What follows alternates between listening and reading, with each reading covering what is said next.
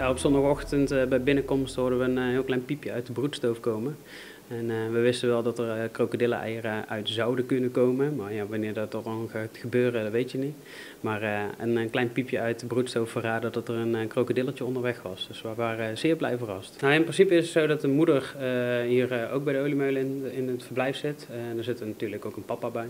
En ehm, ja, op 22 juni zijn er 10 eieren gelegd. En uh, om ervoor te zorgen dat die eieren uit kunnen komen, kun je ze niet bij de moeder laten, uh, want ja, die omgeving is niet goed. Dus om ervoor te zorgen dat ze in een gecontroleerde omgeving uit, zijn, uh, uit zouden komen, hebben we ze in de broedstoof gelegd bij de juiste temperatuur.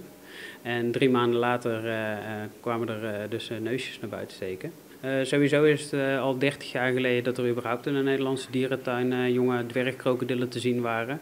En ja, het is natuurlijk een, een, bedreigde diersoort. Het is een soort die zwaar beschermd wordt door CITES-wetgeving.